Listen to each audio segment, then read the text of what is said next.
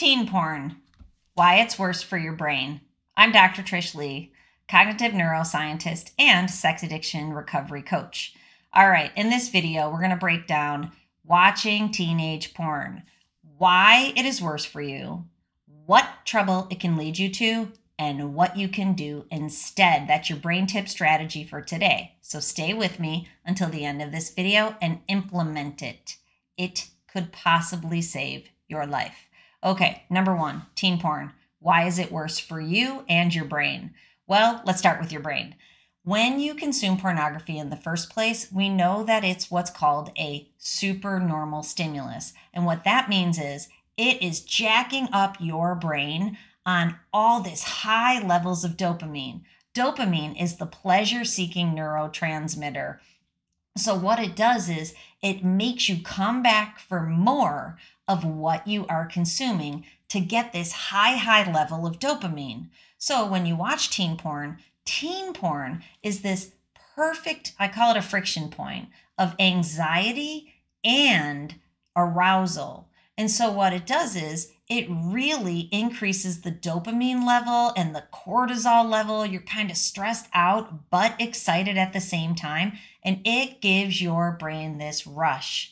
And what happens in the mix is oxytocin, the neurotransmitter that couples your brain, it's supposed to couple your brain to your sexual partner. Inadvertently, it's coupling your brain to teenagers. Now, if you are a teenager, that's one thing. But as you keep consuming pornography, and when I say one thing, I don't mean it's necessarily a good thing to couple your brain to a teenager on the screen. No. But, and I want to remind you that there's only two legal years of pornography in the teen years. And the reason I'm making this video is because we know from the statistics, teen porn is basically one of the top search types of porn. And so it's not just teenagers who are watching teenagers, and you're very much at risk for watching underage people on porn sites. And that's going to lead us to number two. But let me finish the thought on you are coupling your brain to teenagers. So when you're a teen, that's one thing because that's age appropriate. But as you age and you keep consuming teenagers, that becomes a problem because that's not how aging works. So before high speed internet pornography existed, you wouldn't be able to watch tons of teenagers performing sexual acts that do not happen in the real world with healthy women because healthy women don't want the stuff you see in teen porn. Neither do the teenagers that are performing it, honestly. But again, discussion for a different day. So you've coupled your brain to teenagers. So now you're 25, now you're 35, now you're 45, now you're 55, now you're 65, and your brain is coupled to teenagers. That's a problem because if you have a partner and your partner goes from 25 to 35 to 45 to 55, you're no longer interested in your partner if you continue to couple your brain to the screen. So you have to come out of the screen so your brain can unwire that pattern of coupling to inappropriately aged partners. And if you don't, guess who suffers in the end? Yes, your partner, but you. Because we know from the science, you find your partner less attractive, you want don't want to be with your partner, and now you're coupled to masturbation, sex by yourself, viewing very much younger people, which is just not appropriate. So, porn has sucked you into that. It's hijacked your brain to keep watching children as you grow into adulthood.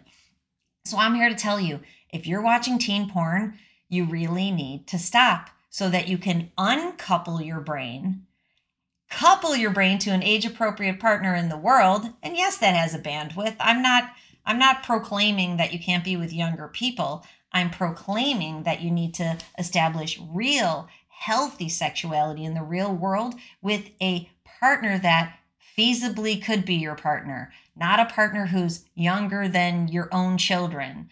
So think about it. I work with people, young and old, that become completely disgusted at the porn that they are consuming.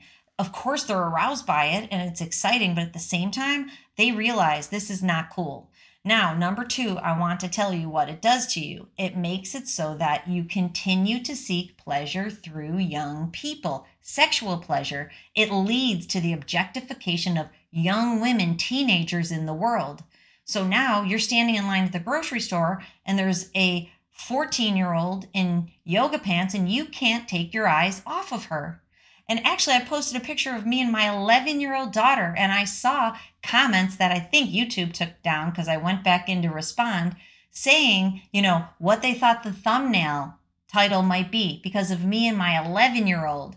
If you're sexualizing an 11 year old, that can lead to you going to prison. If you don't believe me, put kiddie porn in the news into your Google search every day and you will see the number of people who are being busted for kiddie porn who don't know that their IP address is being tracked because this is next level stuff. So if you're watching young people in porn, it's time to stop. This isn't me, you know, holy rolling. This is me telling you it's damaging your brain to the level that you've become desensitized that you need to watch very young people and it will show up in your world. Okay, so Number three, what to do instead. Instead, uncouple your brain from the screen. So you have to break that link, that oxytocin and that dopamine deluge that you get from the screen from watching young people. And instead, get coupling your brain to your partner again. Think about the sex that you can have with your partner if you're not.